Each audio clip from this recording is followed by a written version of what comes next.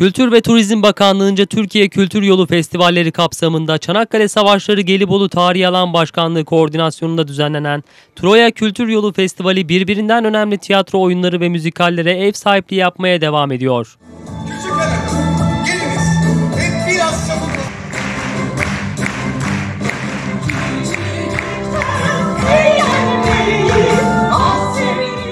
Festival kapsamında Anadolu Hamidiye tabyasında sahnelenecek olan Hisseli Harikalar Kumpanyası müzikali, yağmur yağışı nedeniyle Çanakkale 18 Mart Üniversitesi İçtaş Kongre Merkezi'ne sahnelendi. Çanakkale'liler müzikale büyük ilgi göstererek salonu hınca hınç doldurdu.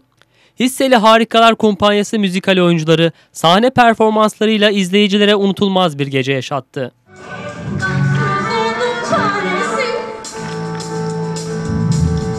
bana diyorlar Nisa Kale göre Ben de çok